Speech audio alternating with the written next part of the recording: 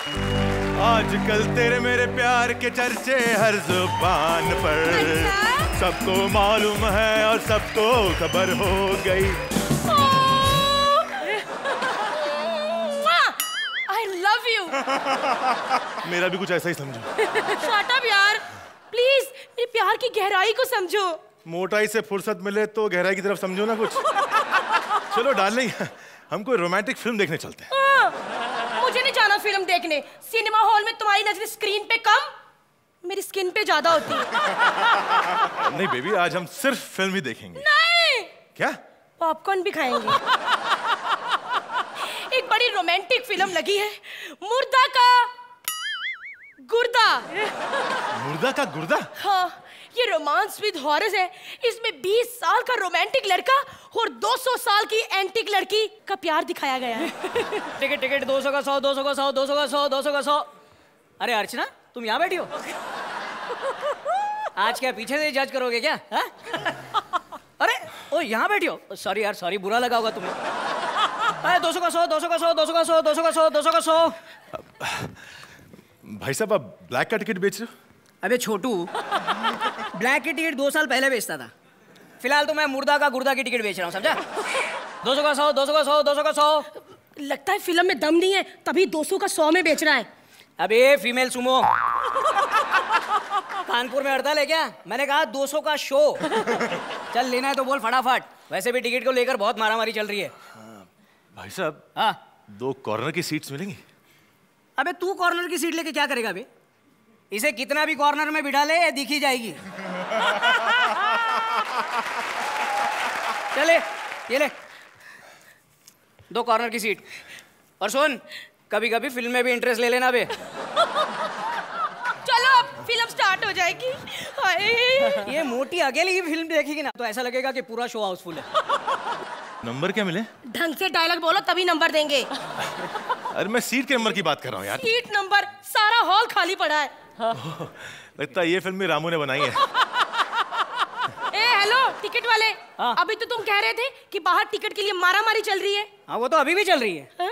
यार मेरे मेरे पैसे वापस दो मेरे पैसे वापस दो। अरे चल छोड़ना यार। आ फ़िल्म एंजॉय करते हैं।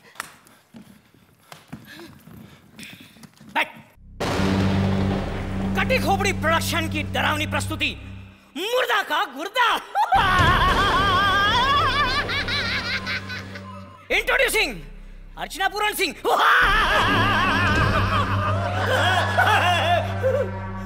ये क्या?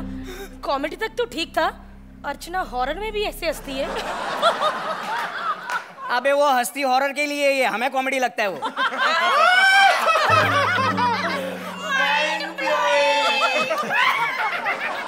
कहानी शुरू होती है। एक वीरान और खाली बंगले से। यहाँ पूरा हॉल खाली पड़ा और वहाँ बंगला भी खाली पड़ा है।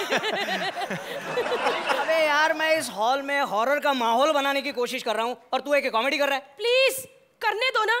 कभी कभी तो बेचारा कर पाता है। कर तू। उस वीरान से बंगले में तीन खतरनाक आत्माएँ रहती थी।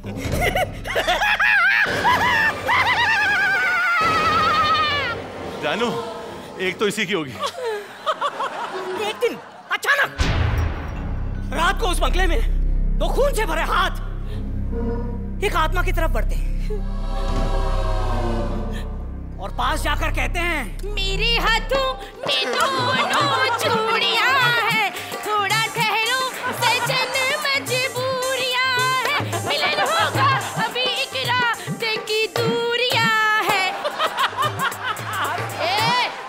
आगे सुना। खून से भरे हाथ एक आत्मा पर वार करते हैं। ये देखकर आत्मा बोलती है ना तलवार की धार से ना गोलियों की बौछार से। मैं डरता हूँ तो सिर्फ़ भारती की डकार से। बाकी दो बची आत्माओं ने उस खून से भरे हाथ को पकड़ लिया। चीखने चिल्लाने की आवाज़ें आने लगी। हर तरफ़ शोर। उन दो आत्माओं ने खून से भरे हाथ की एक एक उंगलियाँ पकड़ पकड़ कर काट डाली फ़िल्म के अंत में वो तीन आत्माएँ एक ऐसी जगह जाकर मिलती है। ओ, ओ।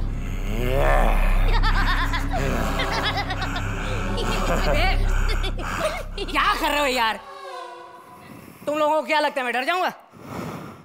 अरे आप लोगों ने भी सुना होगा ना? जो डर गया समझो